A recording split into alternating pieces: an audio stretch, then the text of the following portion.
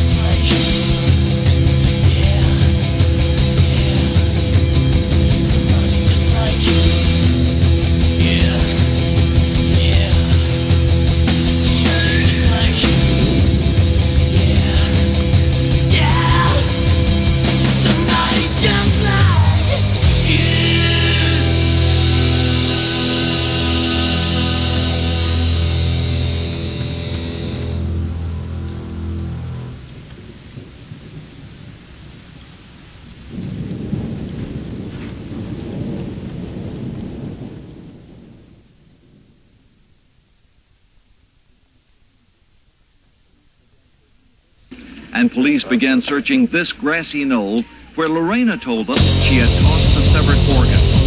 Miraculously, it was found, and in nine and a half hours of microsurgery, John's penis was reattached.